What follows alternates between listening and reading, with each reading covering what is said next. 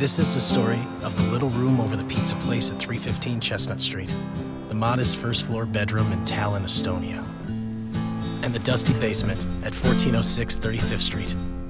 It is the story of the old dining room table at 25th and Hoffman Avenue, the southbound bus barreling down I 95, and the second floor above the strip mall at Roble and El Camino. This magic moment, It is the story of where every great idea begins, so different and.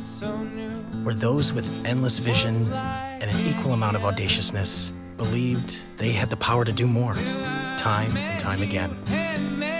At Dell, we're honored to be part of some of the world's great stories.